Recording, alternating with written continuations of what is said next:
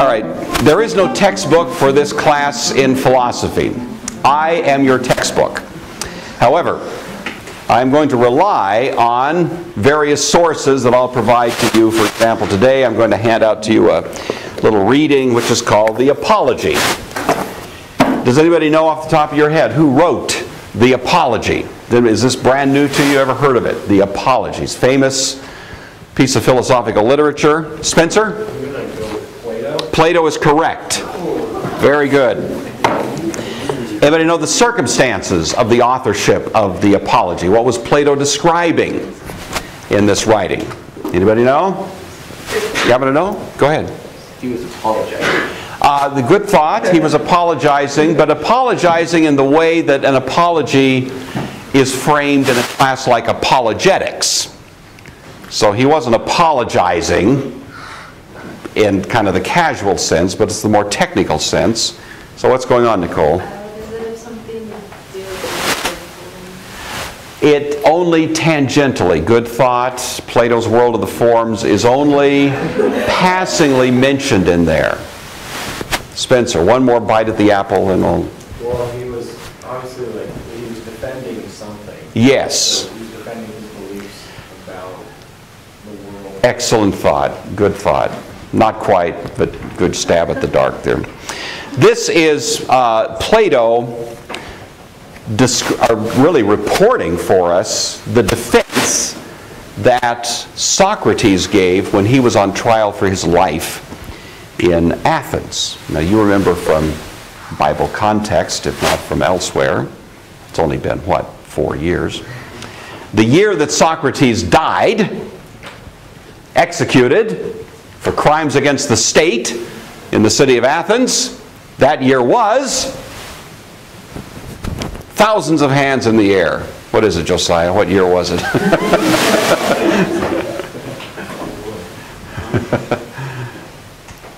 We're in the, I'm I know we're in the BC era. We're B. Excellent. Yes, that's good. Good start. Okay. We're in the BC era.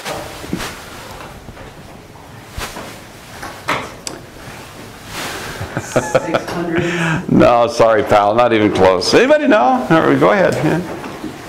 I was just gonna guess a random number, Uh huh. four fifty-one. Uh, well, you were closer. 399. 399. And this is the uh, this is the defense that Socrates gave to the jury of the Athenians who was evaluating whether he should live or die. It's a classic piece in philosophical history. And my point right now is not to start talking about it directly, but simply to say to you, I'm going to give you handouts like this through the years, or through the year, not years plural. And uh, these will be your responsibility to read and digest, and, and when I give you tests from time to time, uh, their content will be part of what I will check out, and we'll talk about them to some degree in class. The purpose for your binder is to keep track of these handouts.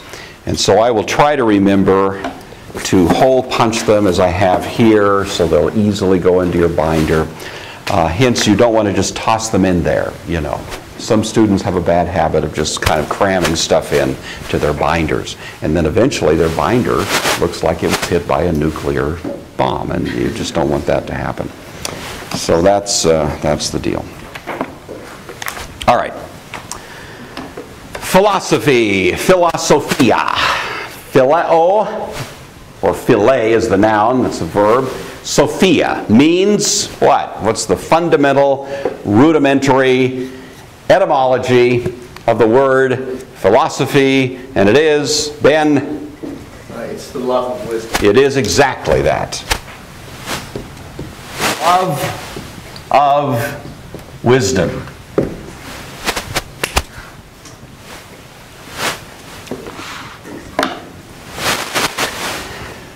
Philosophy typically is conceived of in three great branches. Okay?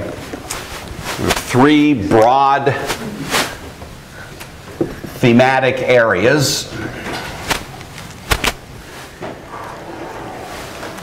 And those three areas are, the words are, first of all, ontology, O N T O L O G Y,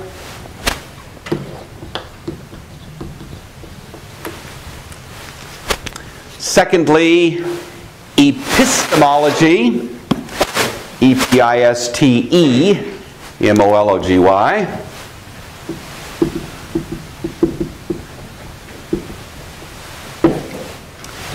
And thirdly, a word that would be less commonly used, but I like it because it rhymes.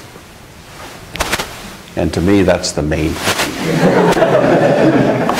and it's the word axiology.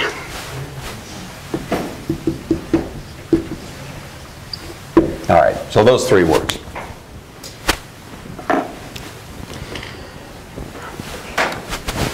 What is ontology? Any idea? Jordan, do you know what ontology, is that a brand new word? Do you have some idea what it might refer to? Anybody? Ontology? Sydney? It's the study of being. It is, exactly. It's the study of being. Isn't that helpful? What is being? What is that? Sydney, do you have any idea? It's the study of being. What's that supposed to mean? Yes, yes, Sydney. I always thought that's something kind of like who we are, our essence, and why we exist. Okay, well, you're, you're on the right. uh, Another word that's used there sometimes is essence. Who we are in our essence uh, would be a, a more narrow idea. It's much, it's much broader than that, but it would be included in that. Being. What is that? Trevor, any idea? What, what do you think? Um, I think interpretation is something that, I mean, came about. Not exactly, not how we came about, although that might be implied in it. Yeah. Anybody want to take a stab at this? It's, you know, you say the word being is pretty common, isn't it? We talk about a human being. You know, we talk about being at the soccer game. Talk about, you know, it's a word we use all the time, isn't it? Probably multiple times a day. What is being?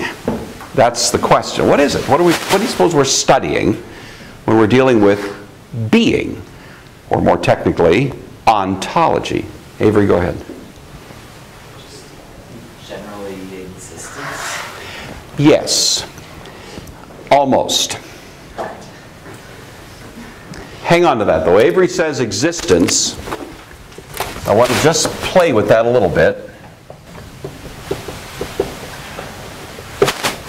And Megan, you had your hand in the air. I was going to say reality. reality. That's really the idea. So for, for now, this is all you need to understand is that this is the question of what is actually real. And technically, Avery, philosophy has concluded that to exist is not quite to be real. Okay? And it's an odd little thing. There's, if you think about these two words, being, what would be the absolute opposite of being? What would we, would we call that? The opposite of being would be? What do you think, Mr. Culverson? What would be the opposite of being?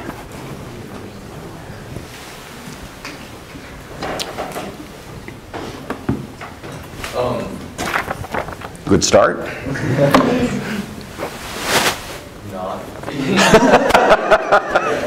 Excellent. It is. It's called non being. And another term that's sometimes used for that is nothingness. Right?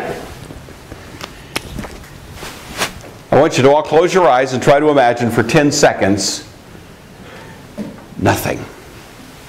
I mean nothing. Not no space, no time. Nothing.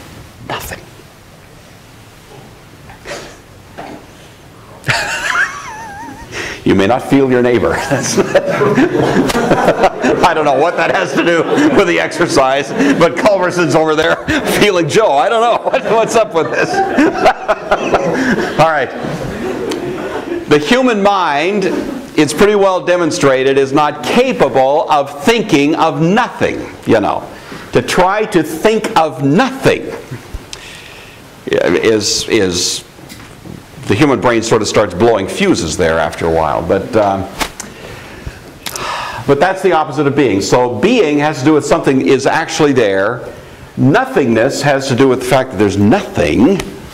And existence, Avery, is somewhere in the middle. The, the literal meaning of that word from its Latin derivatives is existare, which is to stand out of and the meaning was to stand out of being. To exist, in other words, is sort of this place of having one foot in being and one foot in nothingness.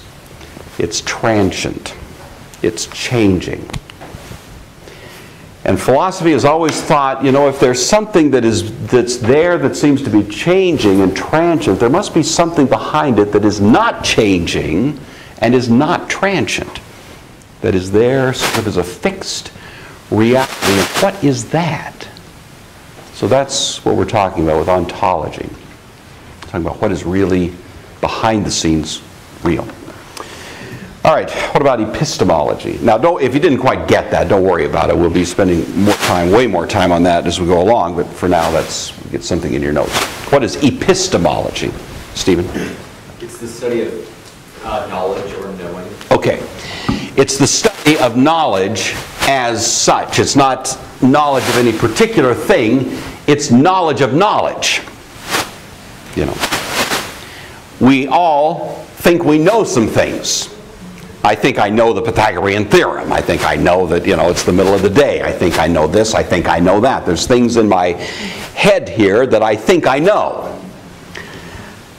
Epistemology is turning the question back on that whole idea of knowing in and of itself and asking, what is this thing that I call knowledge?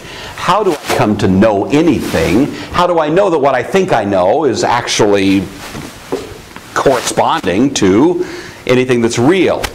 So, in terms of the connection, we've got ontology as the question, what is real? Epistemology is the question, how do I know what is real? And how do I know that what I think is real really is? Maybe Trevor here is just a fig Newton of my imagination.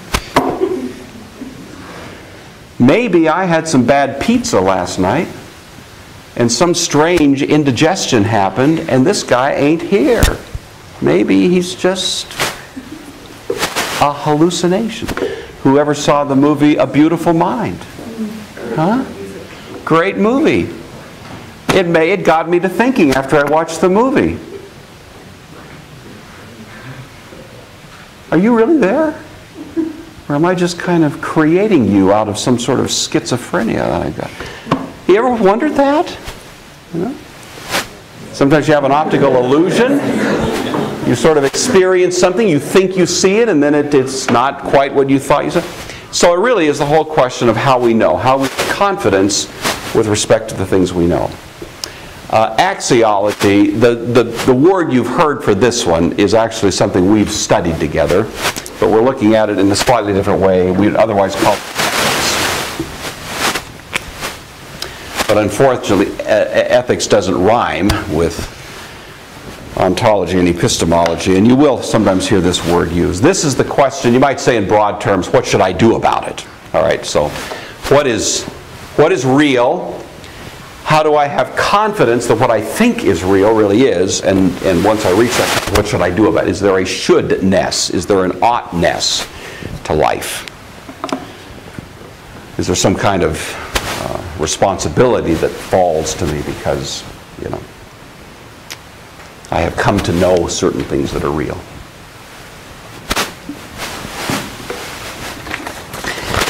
Let me just say, uh, as we're kind of reaching the conclusion here of this first session together, I have heard from countless, um, well, countless, I guess that's a little overstated. I've heard from several, we'll put it that, a little more modest here, uh, graduates who've come back and come to me privately, usually, and said, you know, of all the classes that I took at the Oaks, philosophy is what helped me the most. Now, I don't know, maybe they go tell every teacher that. They go say to Mr. Ong, it was Latin that just got me there, Mr. I don't know. They, so I, I- at this point, I don't, I don't know, but at least I think these are sincerely driven comments. Because uh, what you're going to cover in this class is um, an- is a historical survey of the thinkers in history that have created the world in which you live uh, intellectually, in terms of the culture, the values, and so on. And, I, and to me, I, I, I never tire of teaching it. And my experience is that students, again and again, have these sort of aha moments, you know, as, as you're going along, and you begin to see that the, what you see on TV is a culture that's been produced by certain forces. You may know nothing much about Friedrich Nietzsche, but if you know Nietzsche, you'll see him in every TV commercial you watch. You see, you may not know a lot about, you know, Hegel or, you know, other characters, but if you learn to see how they have shaped your world, then as you look at your world, you'll say, wow, that was really Hegelian.